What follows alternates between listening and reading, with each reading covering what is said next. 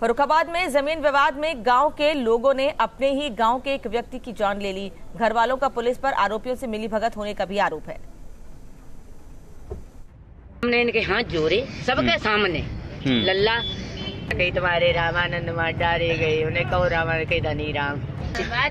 डर के बजे। तो पहले क्या पुलिस ने कोई कार्रवाई नहीं की? अरे कार्रवाई एक करे आए फिर कहीं हमें ओ दैया रे दैया रे। ओ दैया ओ दैया रे।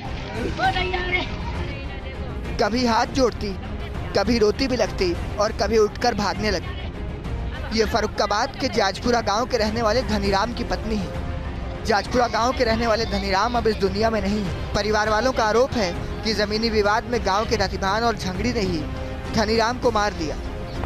झंगड़ी? रतिभान शिव कुमार उर्फ़ झंगड़ी है। शिव कुमार उर्फ़ झंगड़ी। अबे मारू लल्ला। धनीराम की पत्नी ने यह भी आरोप लगाया कि जब उनके पति पर हमला किया जा रहा था उस दौरान उन्होंने वहाँ से गुजर रही पुलिस की गाड़ी से मदद की गुहार भी लगाई लेकिन किसी ने नहीं सुना। लेते पुलिस वाले लेते पैसा। अच्छा हाँ। इसीलिए नहीं पकड़ रहे थे? हाँ इसीलिए ना हमें मिलता ही ना हम बूढ़े कैसे बच पाए? धनीराम की पत्नी का ये भी कहना है कि उन्होंने ज़मीन के विवाद को सुलझाने के लिए गोरखपुर से लेकर लखनऊ तक गुहार लगाई। उन्हें मदद का आश्वासन दिया गया लेकिन अधिकारियों ने आरोपियों से मिलीभगत करके पीड़ित पक्ष की एक न सुनी। मुख्यमंत्री के पास गए थे? मुख्यमंत्री के पास गए थे। जाओ काम होगा आपका। हम्म, अब फ़ोन नंबर दे दे। हम्म, इस पे कॉल करना। और का नाम हम हुआ से गए थे।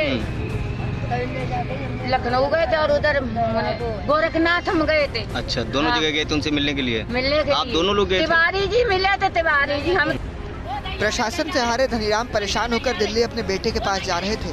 तभी रास्ते में आरोपियों ने उनकी हत्या कर दी। धनीराम की मौत के बाद अब पुलिस कठोर कार्रवाई की बात कर रही है।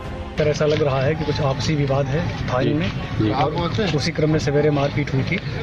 और वो महिला ये भी कह रही है कि पुलिस की कोई गाड़ी जा रही थी उसने रोकने का प्रयास किया नहीं रोकी। तो इसकी जाँच कराई जाएगी उसमें जो दोषी होगा उसे खिलाफ करें अब भले ही पुलिस एक्शन में दिख रही है लेकिन वक्त रहते अगर पुलिस के अधिकारी जागे होते और प्रशासन ने धनीराम की मदद की होती तो शायद आज धनीराम ज़िंदा होते और उनकी पत्नी जीते जी यूँ पागल न हो जाती।